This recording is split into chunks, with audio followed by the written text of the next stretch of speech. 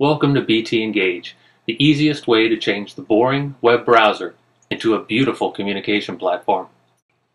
For this private beta, you'll need an invitation and to log into the site. I've already created a couple browser themes, and they're ready to install for Firefox or IE. But let me show you how easy it is to create your own browser theme. You can instantly preview how the theme will look in either Firefox or Internet Explorer. I'm going to create a rock and roll theme and select some of the backgrounds available in our gallery. Like flying guitars, a skull,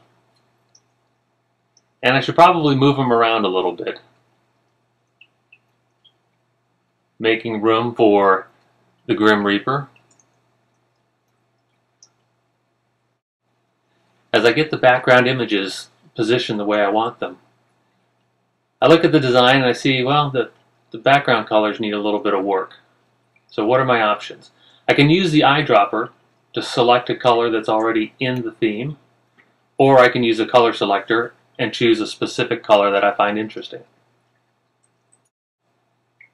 I can also add a logo to the theme. If I look at the gallery, there's nothing here that really interests me, so I'll go over to the images that I've uploaded and see what I have there course, I can upload backgrounds or logos, but here I have penguins, and nothing says rock and roll to me like penguins. I can resize the logo, or any image, and see if I like it better that way, as well as check to make sure the design works well in both Firefox and IE. Let's not forget to add a button to my site. You'll have the option to add multiple buttons, so if there are other destinations like your Facebook page or a commerce site that are important, all of that can be added to your browser theme. And as you see, every change you make is immediately reflected in the browser preview. Once the theme is the way you want it, click the Finish button. In a matter of moments, the theme will be ready to share with your audience. And your audience will enjoy both the better looking internet and a constant invitation back to your website. Thanks for watching.